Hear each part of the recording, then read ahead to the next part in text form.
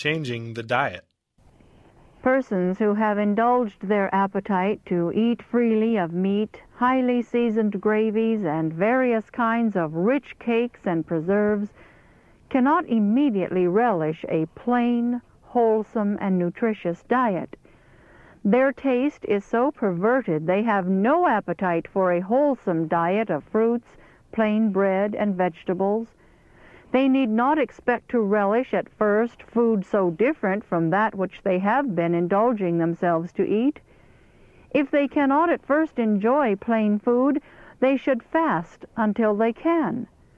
That fast will prove to them of greater benefit than medicine, for the abused stomach will find that rest which it has long needed, and real hunger can be satisfied with a plain diet.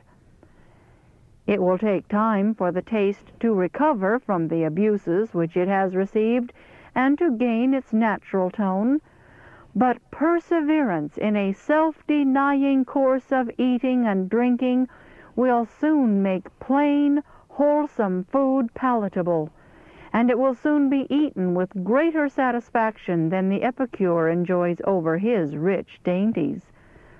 The stomach is not fevered with meats and overtaxed but is in a healthy condition and can readily perform its task.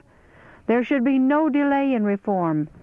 Efforts should be made to preserve carefully the remaining strength of the vital forces by lifting off every overtaxing burden. The stomach may never recover health, but a proper course of diet will save further debility, and many will recover more or less unless they have gone very far in gluttonous self-murder.